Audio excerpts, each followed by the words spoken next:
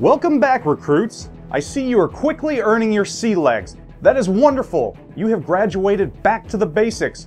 But it's no time to slack off. We've got four unique ships that we have to learn about. So we're going to do that right now. Your next block of instruction is going to be on cruisers. These jack of all trades are wonderful ships that have a variety of applications.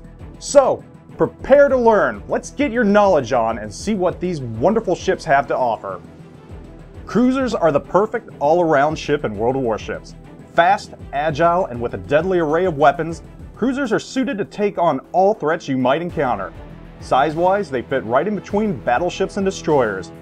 With a devastating rate of fire, cruisers have the ability to fling shell after shell at enemy warships. The type of ammunition you use is very important though. You'll want to use AP shells against other cruisers. For battleships and destroyers, you'll want to use your HE rounds. AP will bounce off battleships and fly straight through destroyers. To maximize your damage, you'll want HE which will explode on the enemy's superstructure, causing devastating fires. You need to be careful with your cruiser. While your armor is decent enough, it's no match for a battleship shell. You need to protect your citadels, the boiler room, and magazine compartments. The best way to do this is to stay angled and never show your broadside. Each nation's cruisers offer something different for players. The United States Navy's cruisers boast superior anti-aircraft capabilities, making them perfect for protecting your capital ships from enemy carriers. Their guns are capable of decent damage and have a high rate of fire. In the early tiers, they even carry torpedoes. The Imperial Japanese Navy offers a different approach.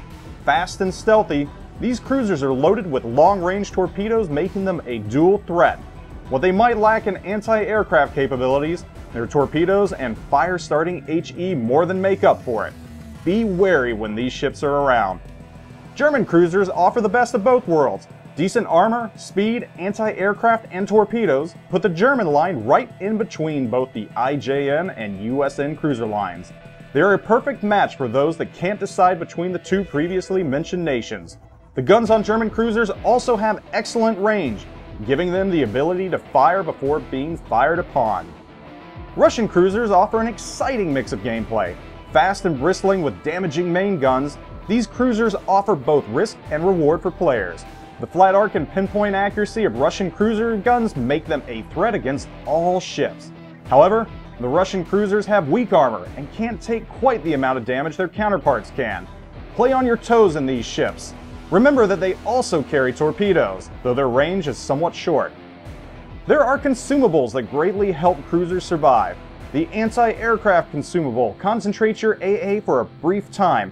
Activate it when enemy aircraft are near to melt them from the sky. Some cruisers have radar which can spot enemy destroyers, even in smoke.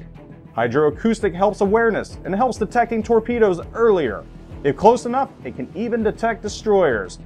Some cruisers even can heal themselves, like the IJN Premium Atago and high-tier US cruisers. Now that you know what each nation has to offer with their cruisers, get out there and take the fight to the enemy. Remember the basics and you'll do fine, sailor.